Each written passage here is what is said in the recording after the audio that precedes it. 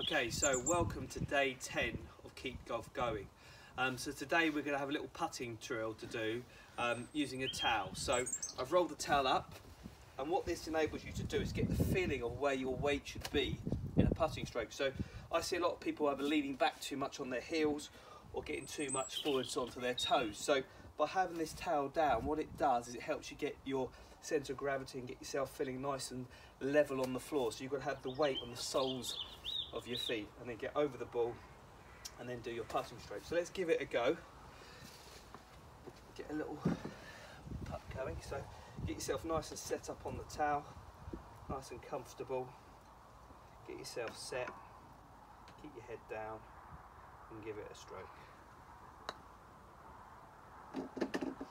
Okay, so you can see I've got it in there.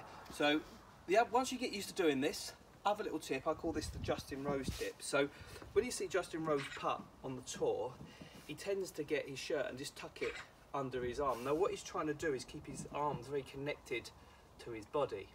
So what we can do to practice that, again with a rolled up towel, just put this on the floor, is put it under your armpits and then start practicing with the towel under your arm and it keeps you very, very connected. So really that's what I want you to work on.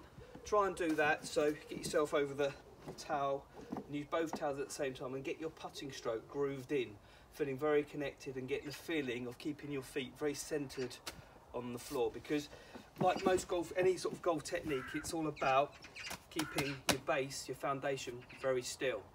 So again, if you'd like to send me some footage of you doing this at home, I'd really love to see that. You stay safe and I'll keep the golf tips coming.